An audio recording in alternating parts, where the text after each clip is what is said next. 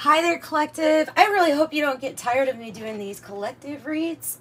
Um, just really feeling it today. Let me tell you a few things.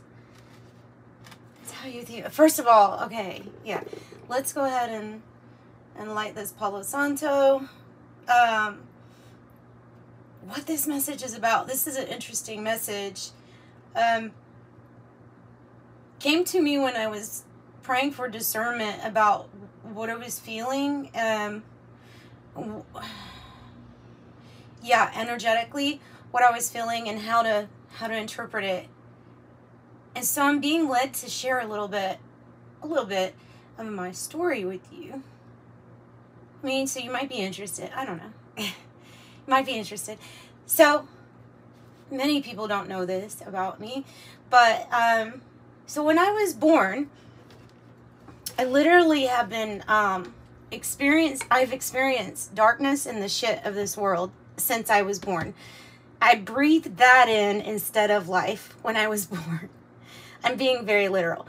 Um, I was a C-section baby, and I was called a meconium baby. So when I was born, they put off my uh, birth for such a long time um, that I had already developed bowel movements and poop, and I inhaled that poop, and it was called, instead of taking my first breath, I inhaled all this stuff that has shit in it, basically. So, so I had to be uh, resuscitated. I was not like technically, I guess, even living in in the beginning, and okay, brought back and then put on all these little machines. My dad tells me the story that I had tubes coming out of my head, and and that a priest came to prepare him for my death because I had uh, massive infection uh, all over the massive infection.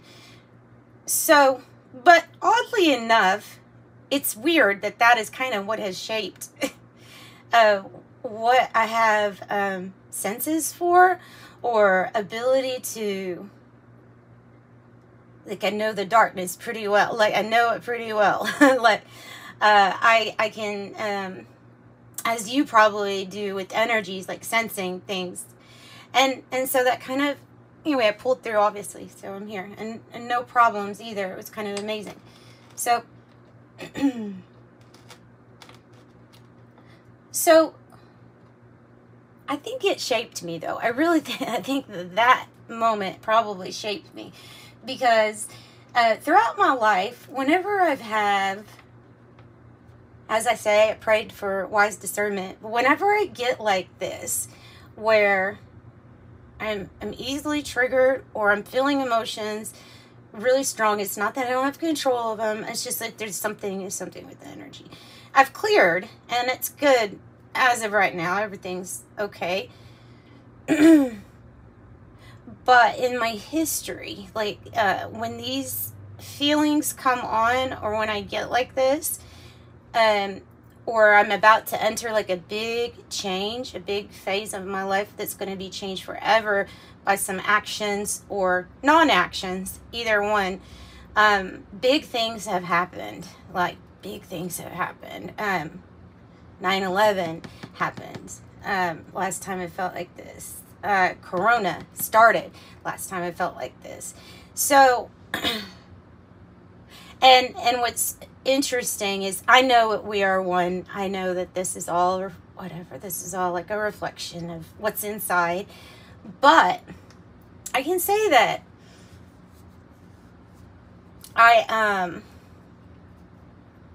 find it I find it unusual or just uh, you know slightly odd that every time I, I go through these this burst uh, burst or feelings like this or big changes that are transformative in my life like they change the timeline forever that that's exactly the same time that some other big stuff is going on. I just want to dive into to figure out why why is that coming to me why is that message coming to me? And and the reason I was pulled to do this reading is because I was thinking about it. And um, I'm making a, a drastic change that's going to positively affect my health. No, I'm not doing anything bad, but but just this change is going to affect my health drastically better for the better. This change and it's going to mainly be the next I don't know, week or so and, and that that I will maybe be a little getting used to something. So so big change coming for me and it kind of usually equals that there's going to be a big change out there that there's something that if I'm going through something that's going to be very, very transformative for me, then, oh my goodness, what's happening out there? So, yeah.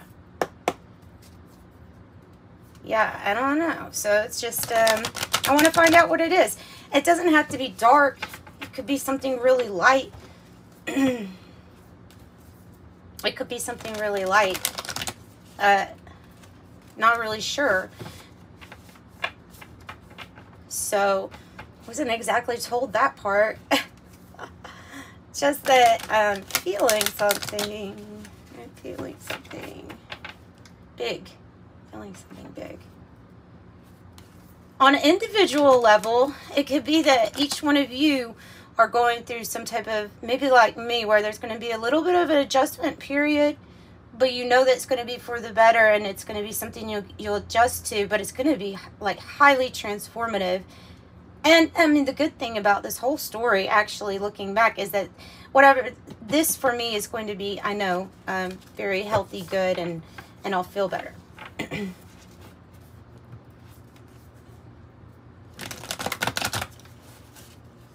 so maybe that is is going to be the reflection of something really good to happen i hope I hope so. So I want to know what's going to happen with the, the world.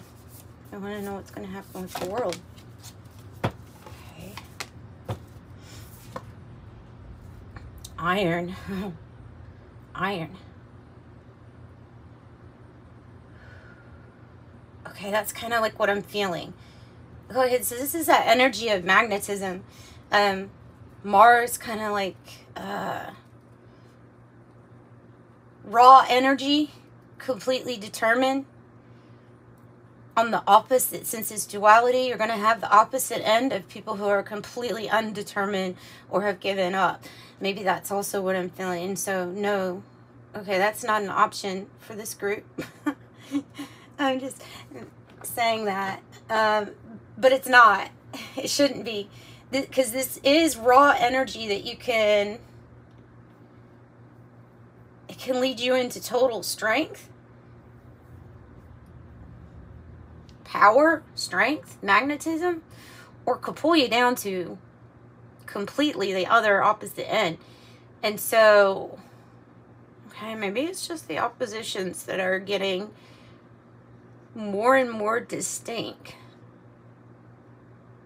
uh, but this is raw energy. Raw energy. Mm, the silver. The silver must be polished. Mm. Silver can sometimes mean uh, the the luxuries here that we can have. There's an opposite end to that too, or not have, right? Uh, but when I see this silver card, I think of it being tarnished and still being silver underneath. So needing to polish it off.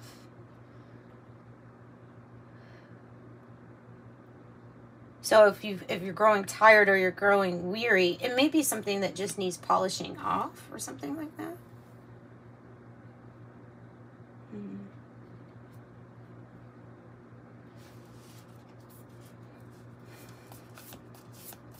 It also looks like a moon. It's not, but it looks like a moon. And then winter. And then winter. Vinegar.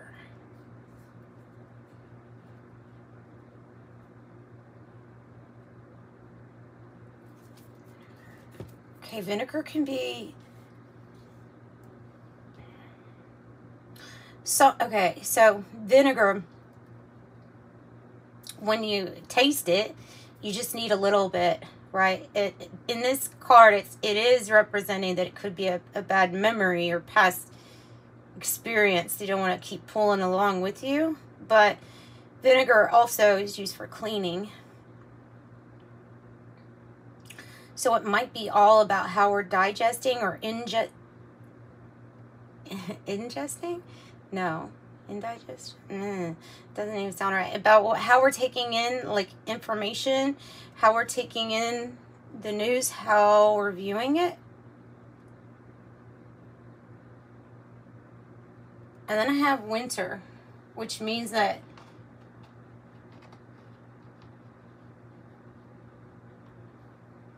cold. Things could get cold. It could be talking about timing, Kim. Could be talking about timing. As we are going from fall to winter. Oh my goodness, the cut. Oh my goodness. The Empress and the Emperor on the cut. Wow. What is it about this winter card? Because as you know that the tree is not dead inside. It's still living. There's still a lot of things going on, right? There's still a lot going on.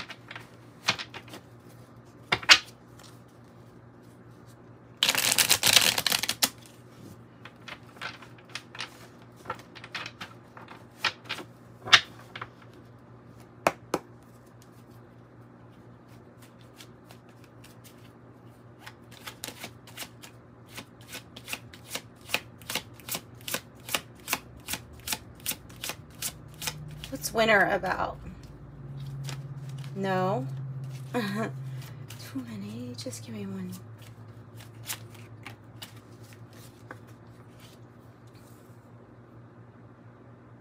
Possibly something that you have been, like I said, this is uh, something that is attached to transformation.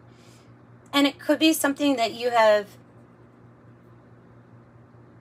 built that maybe seems like it's at, um, a still or stand, not stand, I don't want to say stand still or something that hasn't um, gone along quite as grown like you would like it to or as fast as you would like it to. So the castle says pride, recognition, position, praise for achievements, ego, wealth, ancestry, antiquity, history, legacy, architecture, power, prestige, isolation, the old guard, timeless, and the sword and scales. And then there's a 16, transformation, the tower energy, truth,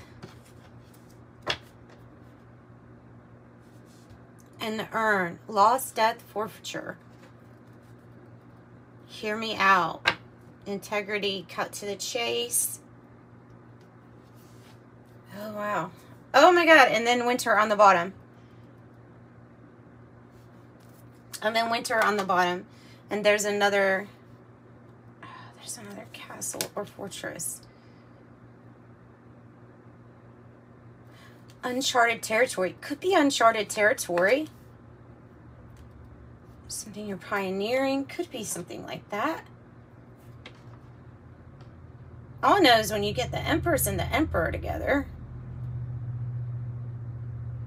Uh, these energies are very powerful. One is about the structure, power, action, moving forward. And the Empress is about what you're creating and receiving. Head of all the queens, this one head of all the kings. So action and knowing, um, picking your battles wisely. I don't know. There's just a could be staying to yourself. this is also about staying power and uh, determined doing what it takes.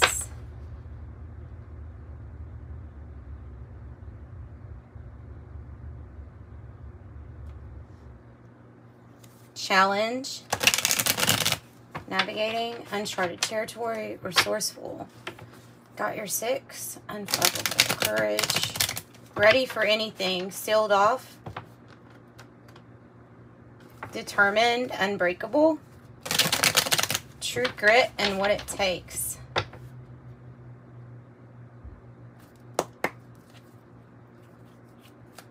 So some type of um, staying power to what you're building, to the fortress that you're building. Like I said, there's something that when polished off, it's going to look really good. So rebirth.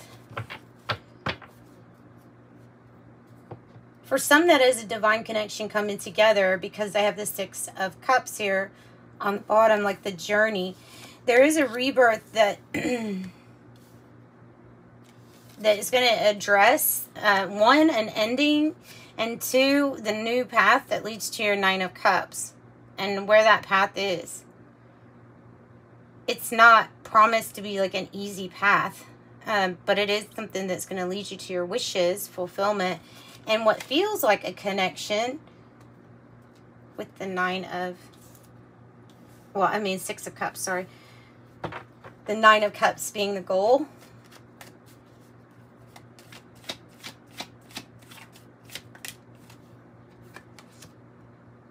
the King of Wands. It's what you're building, something that um, is going to have, maybe like finally have more success. Because you're definitely, like with the magnetism, you are attracting this great big change. Trailblaze, trailblazing. And both cards that mean you're getting out of one area, going to calmer waters or going away from the storm and going to calmer water. Eight of Eight of Cups and the Six of Swords both mean that you're leaving leaving somewhere, going somewhere else. Where are they going? Where are they going? King of Wands, like whatever you're building, it's master master level here.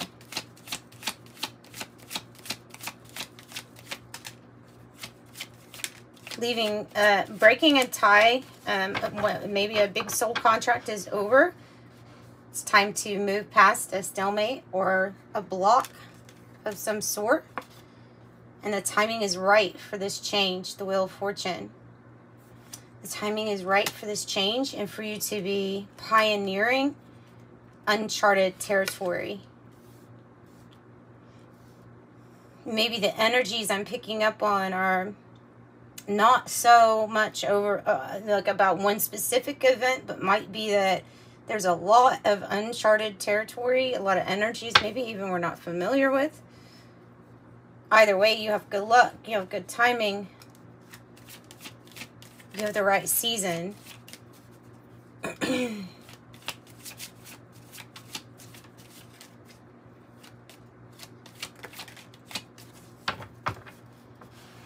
something is going to change. The group or the people you're around is going to change. Wow, I have the Three Cups and the Three of Swords both in the reverse. And the Justice in the reverse. Okay, so this is like talking about how there will be partnerships, maybe relation like uh, partnerships, marriage relationships, things like that that um, are changing, contracts changing. Again, law, this, this something about the scales that were so off balance and something affecting our connection with the divine. Picking up as like an interference energy actually. Um, and then the three the swords is putting a past behind you or something behind you that was heartbreaking, that hurt. Three Cups reverse is removing yourself from these not so great influences that might be around you or gossipy energy. This could have been a, a cheating situation. I mean, it could be like a lot of things, but you're releasing it and it's time for this new chapter and a new investment.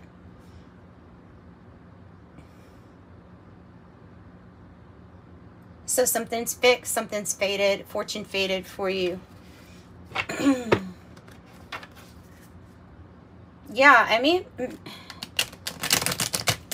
maybe this is just brand new energy.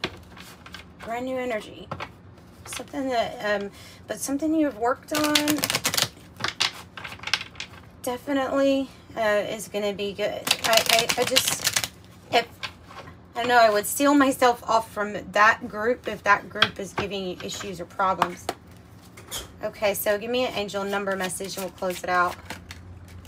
Zero, zero. At this time, like you're being asked to uh, definitely pay attention. Angels ask for your attention. Zero, zero. So listen. Um, focus in, hone in on your uh, intuition here. It says follow their guidance without any delay. Focus inward through meditation and prayer. Zero, zero. I'm observant. And then the signs just get, as you know, the signs will get, they will increase. You'll have more of them. So that's what I've got. Just thought I'd share. Sending love. Bye.